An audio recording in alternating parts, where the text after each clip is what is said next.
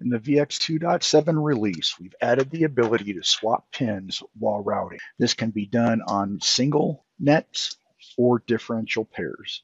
In plow mode, while plowing, select right mouse button and toggle on the highlight pin swap targets.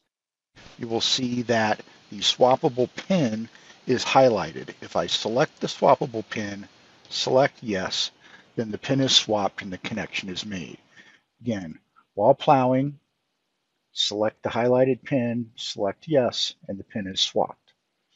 With a differential pair, it works the same way. You route the pair. When you get to the connection to the highlighted swap pin, you select the swap pin and select yes, and it is routed. Let's continue to change the rest of this design.